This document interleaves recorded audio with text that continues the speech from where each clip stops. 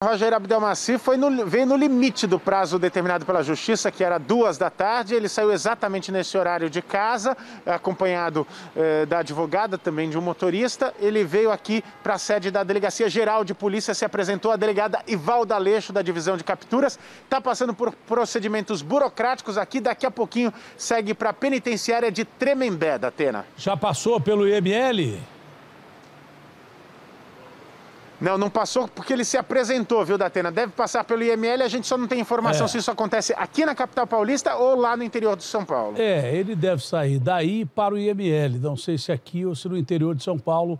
Volta para Tremembé, destruiu várias famílias, acabou com o sonho de várias famílias, humilhou várias mulheres, é, abusou sexualmente de várias mulheres.